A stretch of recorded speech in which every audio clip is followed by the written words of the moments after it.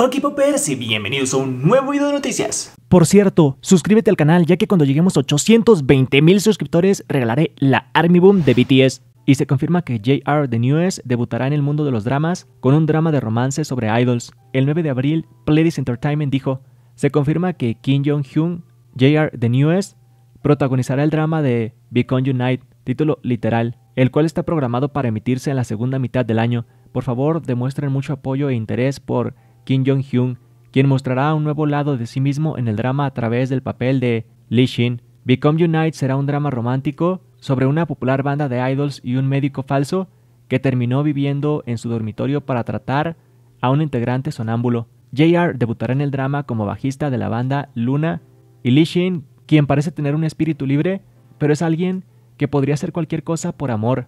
I'll Become Unite comenzará su producción en mayo y está programado para emitirse en algún momento de la segunda mitad de este año.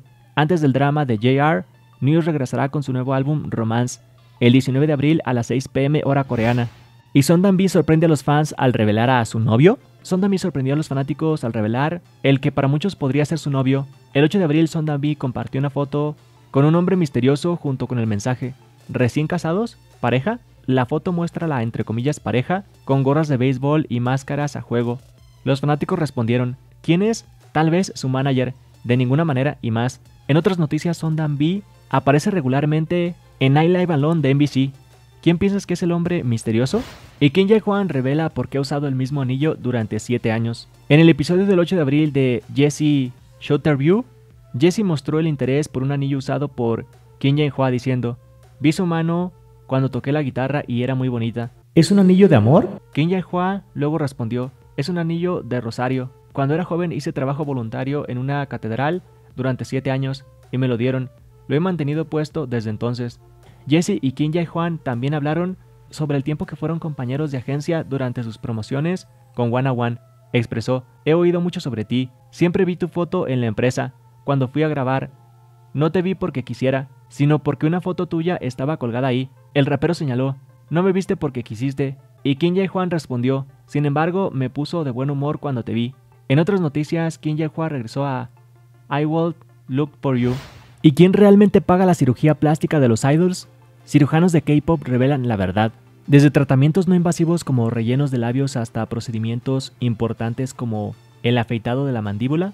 Afeitado, bueno, creo que se refieren a afilar la mandíbula. La cirugía plástica no es barata, entonces cuando las estrellas de K-pop pasan por el quirófano, ¿quién paga la factura? Dos cirujanos plásticos con experiencia en la industria del K-pop revelaron todo en un nuevo video de Defensores de los Comentarios o Comment Defenders en el video de Ayo en YouTube. Como directores de Moon Clinic, una popular instalación de tratamiento de cosméticos en Gangnam, Park y Kukhwa Han realizaron numerosos tratamientos hasta el punto de que Park incluso ha cenado con estrellas de K-pop. Entonces, ¿quién es mejor para revelar sobre el financiamiento de la cirugía estética de idols? Los idols parecen recibir la mayoría de los tratamientos cosméticos. ¿Cuánto sería esto para todos? Las agencias pagan por ellos, ¿verdad?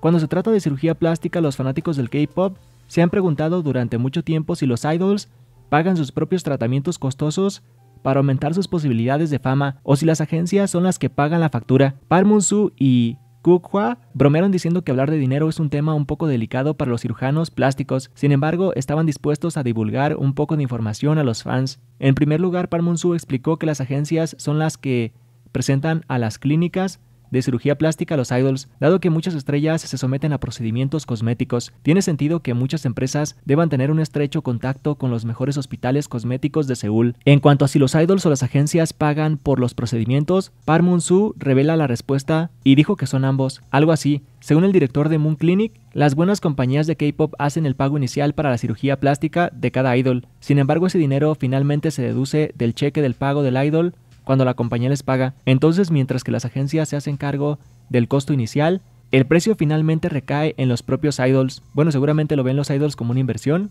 que ellos incluso lo pagan. Las agencias presentan los hospitales a los idols y cuando les pagan a los idols, el dinero para el tratamiento se deduce del pago, dijo Parmunsu. Parmunsu y Kukhwa continuaron diciendo que la situación es algo diferente en las, entre comillas, malas agencias.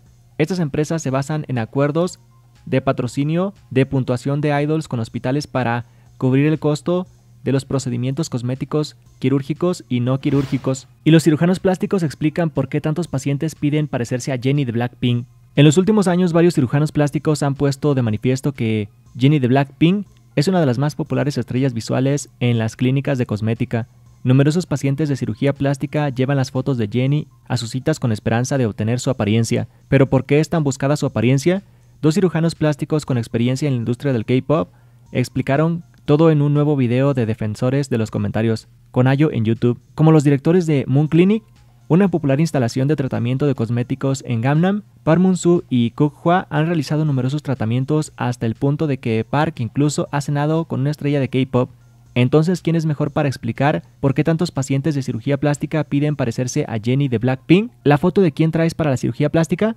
Voy a conseguir Botox para la línea de la cara y la mandíbula cuadrada y voy a traer a Jenny de Blackpink o Yun Chayoung de día. En primer lugar, Kung Hua aclaró que no es necesario llevar la foto de una celebridad a un procedimiento quirúrgico no invasivo con Botox, ya que esos tratamientos en realidad no pueden cambiar la forma de tu rostro, sin importar cuánto se parezca a Jenny.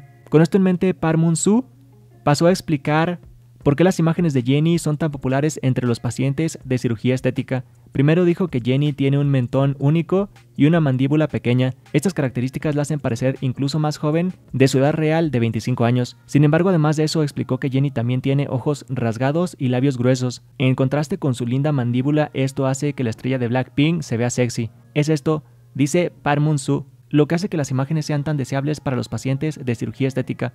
Creo que mucha gente pide verse linda y sexy al mismo tiempo. Como tal, los pacientes que ya tienen una cara sexy acuden a la clínica para recibir tratamiento que los hará lucir más lindos, como la adaptación de la mandíbula.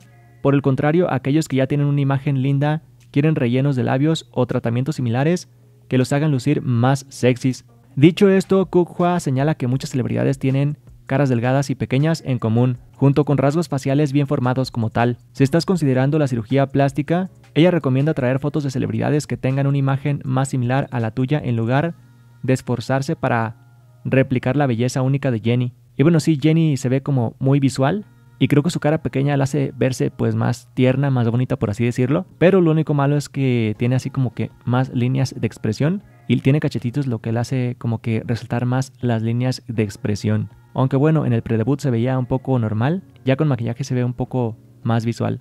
¿O tú qué opinas? Y Jimmy revela qué canción usa para seducir. En una entrevista a Jimmy se le preguntó, ¿qué tipo de canción tocarías si fueras yo? Si fuera tú, creo que Filter. Creo que Filter te quedará muy bien. Es una canción que está destinada a seducirte y fascinarte. Bueno, esto ha sido todo por este video. Espero que les haya gustado. Recuerden suscribirse para más videos como este y obviamente activar la campanita para que te notifique cada que suba un nuevo video. Dale like si llegamos a 500 likes publicaré otro video como este. Comparte este video con tus amigos. Sígueme en todas mis redes sociales que estarán abajo en la descripción. Comenta cuál es el país que recibiría mejor a los chicos de BTS y nos vemos en el próximo video.